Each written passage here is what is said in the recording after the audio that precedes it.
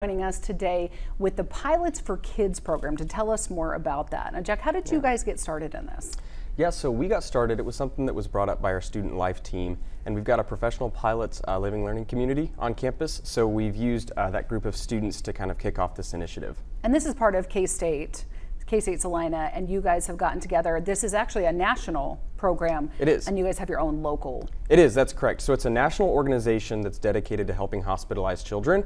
And so these different local chapters are able to go and do that and meet their, the needs of their area. And so we've started the first K State um, chapter that serves the needs of Kansas. And you recently went to Wesley Medical. Now tell us what That's you correct. did while you were there. Yes, so we went to Wesley Medical Center uh, last week and we went to their children's hospital and just really got the opportunity to meet with some of those kiddos and hang out with them, spend some time. We brought some students as well from our living learning community, so our flight students were a part of that, and then got to donate some different things t shirts that looked like our flight uniforms as well, donate some wings, toys, blankets, things like that.